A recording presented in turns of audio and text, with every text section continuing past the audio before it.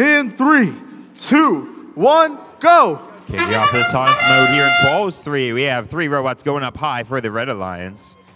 Blue Alliance choosing to mainly focus low so they can focus on trying to get a quick out of the community and engage. Robots choosing to go outside can get an extra three bonus points coming out of the community. 25 to 23 in favor of your Red Alliance. The robots now making their way across the field to try and grab game pieces.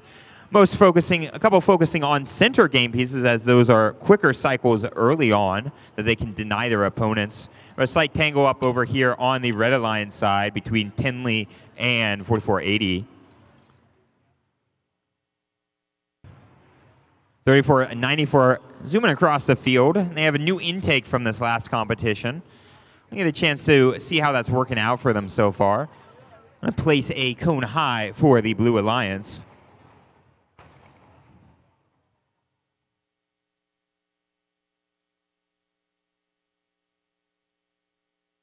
Bit of a slower match right now. But Cryophos for the Red Alliance still chugging away by placing game pieces. The robot known as Perry, Perry the platypus that is, placing a game, game piece low. Breaking away back in action. Now looking to score a cone on the middle node for their alliance. Successfully scoring that.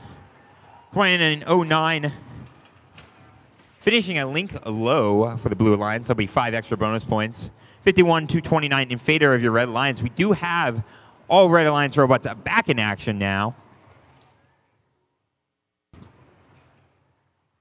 Red Alliance has a little bit to do to catch back up. They have to grab multiple game pieces and finish off a couple more links to try and overcome the Blue Alliance current lead. That means there's 30 seconds left in this match.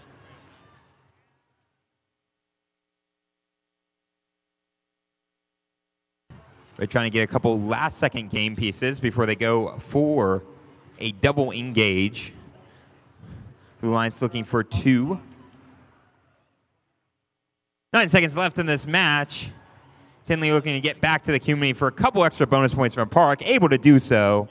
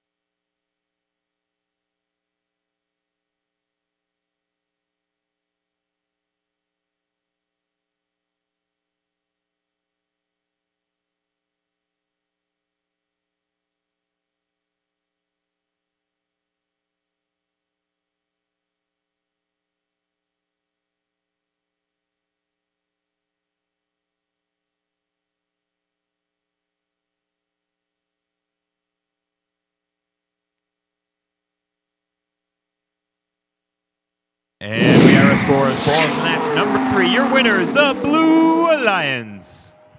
Blue Alliance winning 81 to 50, picking up three bigger ranking points. Congratulations, Blue Alliance winning Quals Match 3 here at the FIN District Greenwood event.